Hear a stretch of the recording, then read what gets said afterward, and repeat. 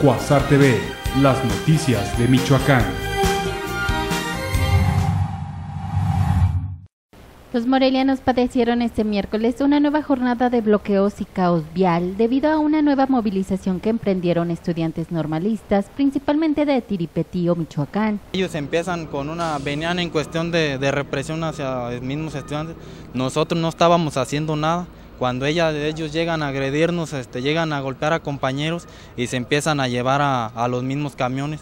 Por tercer día consecutivo, el movimiento estudiantil realizó bloqueos desde las 8.30 horas en los principales accesos a la capital michoacana. Sus protestas derivaron en una pelea con policías antimotines que intentaban recuperar dos autobuses con saldo de seis patrullas dañadas y tres policías retenidos. Con información de Sandra Sáenz, informa Cuasar TV. Normalistas de Michoacán levantaron voluntariamente el bloqueo que mantuvieron este miércoles en la salida Pátzcuaro en Morelia, luego de más de seis horas de permanecer obstruyendo el lugar. Sin embargo, los estudiantes rechazaron reunirse mañana con el secretario de Educación, Jesús Sierra, y amenazaron con intensificar sus movilizaciones para obtener las plazas automáticas que demandan. Primera parte, nosotros como organizaciones normales eh, necesitamos una resolución de la manera más apropiada y creemos que las personas que van a estar en esta audiencia que ustedes nos ofrecen no tienen una capacidad ni carácter resolutivo.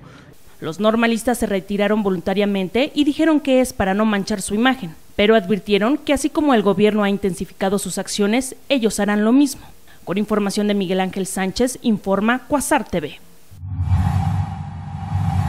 Tras una nueva movilización que este miércoles emprendieron normalistas de Michoacán, con bloqueos en las salidas a Salamanca y Pátzcuaro, el secuestro de ocho autobuses y daños a seis patrullas, el gobierno del estado exigió a los normalistas conduzcan sus protestas sin dañar a terceros. El gobierno del estado reportó que la policía estatal intervino desde las primeras horas para proteger a ciudadanos que acuden a bancos y centros comerciales informó que se desactivaron las tomas de espacios públicos y liberó la circulación de la salida a Salamanca, recuperando seis de los ocho autobuses que habían sido retenidos en la mañana por los manifestantes. Dijo que se recuperaron también las dos pipas de gas que los normalistas habían retenido y a las que intentaban extraer combustible. Con información de redacción, informa Cuasar TV. Monseñor Carlos Suárez Cázares, obispo auxiliar de la diócesis de Morelia, visitó Eslovaquia dentro de la comunidad en la perspectiva histórica en que fue convocado y se desarrolló el Concilio Vaticano II y los efectos que produjo. Lo anterior, como parte de las actividades que realiza el área de difusión cultural en algunos círculos de reflexión, y con ello ampliar el panorama de los universitarios en este tenor, informó Jacqueline Huerta. Las instituciones responsables son las que tendrán que proceder de acuerdo con la ley contra quien resulte responsable del presunto desfalco financiero cometido en agravio del gobierno de Michoacán. Durante la administración pasada, señaló el dirigente estatal del PRI, Osvaldo Fernández que tenga que hacer lo que tenga que hacer, de acuerdo a aquel que haya hecho algún ilícito en contra del gobierno del Estado. Pero yo soy muy respetuoso de las instituciones y siempre colaboraremos con ellas. Señaló que hay coincidencia en que el PRI respecto de las denuncias penales que presentó el gobierno de Michoacán ante la Procuraduría Estatal para que se actúe conforme a derecho. Con información de Miguel Ángel Sánchez, informa Cuasar TV. La Secretaría de Desarrollo Rural de Michoacán realizará por primera vez una expo agroalimentaria como parte de las actividades de la Expoferia 2013, con el propósito de que más de 30 expositores michoacanos oferten sus productos. Así lo dio a conocer el secretario estatal de Desarrollo Rural, Ramón Cano Vega. Por primera vez vamos a organizar una expo agroalimentaria y esto significa que hemos corrido las invitaciones a los diferentes productores del Estado, no solamente a los que tienen una producción primaria y tendrán la posibilidad de exponer sus productos. El secretario dijo que cada uno de los productos que se ofertarán en la Expoferia 2013 serán de alta calidad y a precios accesibles. Con información de Dulce Arriaga informa Cuasar TV.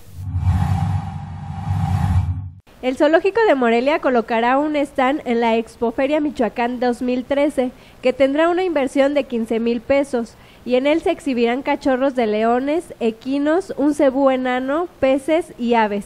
Esto lo informó el director del Parque Benito Juárez, Martín Zavala. Dijo que contarán con cuatro departamentos principales y una sala audiovisual. Vamos a tener una gran variedad de cachorros, de cachorros de las especies de mamíferos, leones, vamos a tener algunos felinos también que vamos a llevar, algunos equinos, algunas burritas enanas, un cebú enano, vamos a tener peces, vamos a tener aves también. Se espera que el stand del zoológico sea visitado por más de 12.000 personas, ya que llevarán a varios cachorros como los principales atractivos. Para Cuasar TV, Dulce Arriaga. El Zoológico de Morelia y el Parque 150 permitirán la entrada gratuita a los infantes este 30 de abril en el marco del Día del Niño. El Parque Benito Juárez tendrá exhibiciones y permitirá fotografiarse con el oso polar, el león y el lobo marino. Asimismo, los jugadores de Monarcas Morelia estarán dando autógrafos. Tendremos alrededor de entre 3.000 y 6.000 niños aquí y en el cual daremos inicio con el darles, darles de entrada la entrada gratis. Todos los, los atractivos del zoológico también serán de manera gratuita para ellos el día martes 30 de abril. Y además el zoológico ha preparado diferentes actividades.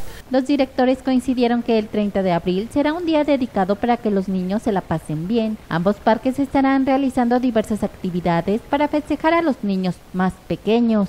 Con información de Dulce Arriaga, informa Cuasar TV.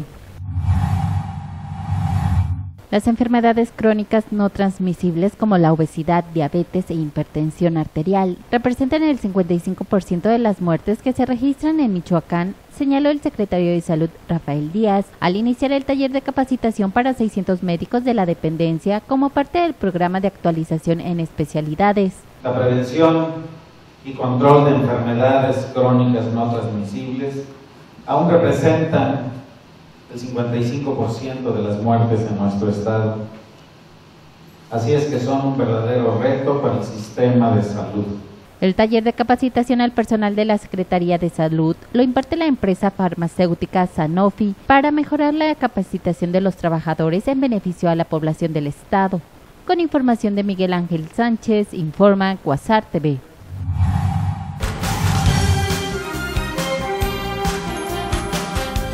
Cuasar TV, las noticias de Michoacán.